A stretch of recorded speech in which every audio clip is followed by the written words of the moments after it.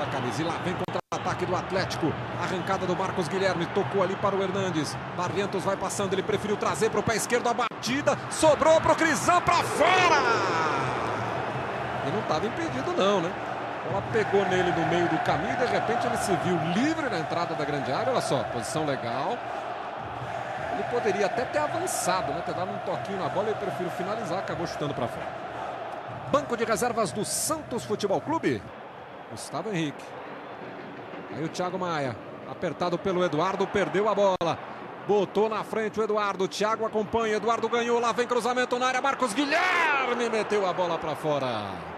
Um bom momento para Juliano Belete analisar estes primeiros 13 minutos, Belete. Bom jogo de futebol, as duas equipes ofensivas. Santos bem na marcação, mantendo as linhas mais próximas, dando pouco espaço para o Atlético Paranaense.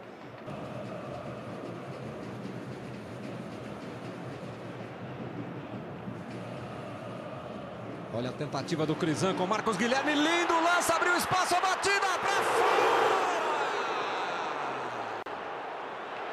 Jogada espetacular do Marcos Guilherme com o Crisan. Ficou na cara do gol. Veja, ele toca, o Crisan devolve, ele faz um lindo drible da vaca em cima do David Braz. Bateu no cantinho, já estava saindo pro braço. Errou por pô, mas que linda jogada, Belete. Uma tabela pode ser bem feita, ela é efetiva também, né? Uma tabelinha, você tirou três, quatro jogadores do Santos da jogada.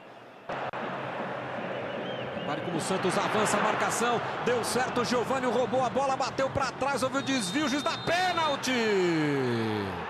Pênalti para o Santos.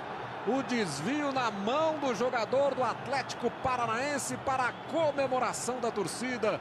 Cadu não se conforma. É aquele pênalti que a gente tem dito, né? Eu tenho até brincado, é o pênalti moderno, né? Porque é, a bola bate no braço, agora estão dando pênalti. Repare, ele está com, com, a mão correndo na grama. Esse lance vai ficar. Aí essa visão vai dar mais clara. Ele está com o braço esquerdo no direito no chão. Ela chama atenção para alguém ali. Está pisando na linha da área. Partiu Ricardo Oliveira. A batida. Defendeu Everton. Bola no chão, cantinho. O goleiro do Atlético foi lá e botou para fora. E ele agora fala: povo, vamos, vamos prestar atenção na bola. Ricardo bateu no chão, bateu lá no cantinho. O Everton foi pegar. Vibração do torcedor atleticano. Santos tem escanteio pelo lado esquerdo. O juiz de novo chama atenção para os jogadores lá dentro da grande área. Autorizado Marcos Guilherme. Perna direita, ele bateu direto, Vanderlei. A corrida do Eduardo. Walter já está lá no meio da área. Eduardo teve que prender. Suado ali pela marcação do Gustavo Henrique.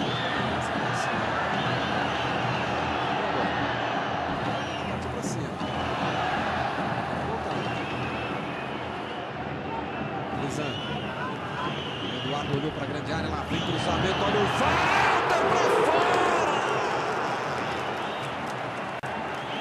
Perde a grande chance deste começo de segundo tempo. David Braz estava marcando mal, né? Estava muito à frente, o Walter por trás dele, sozinho, quase fez o gol. Olha Gabriel. Gabriel tenta de novo Geovânio. Geovânio prende.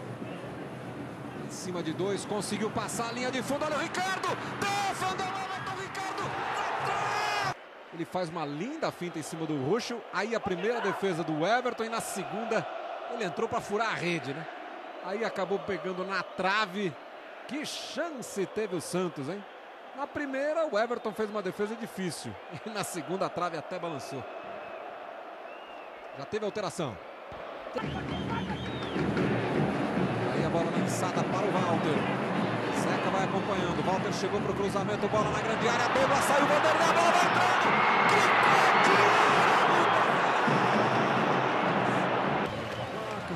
Paulo Roberto Alves Júnior. Acho que vai ser depois porque a bola vem cruzada. Douglas espalma Vanderlei. Aquela cabeçada de almanac, né? Aquela que vem para o chão. O Vanderlei fez uma defesa realmente espetacular jogando para fora. Você está revendo aí o Douglas Coutinho, que é grandalhão. Hoje vai derrotando o Vasco, dando alento à sua torcida. E o Vasco vai se afundando, né? Cada vez mais na última posição. Bola fechada, Vanderlei. O Hernandes estava tentando um gol olímpico ali, hein?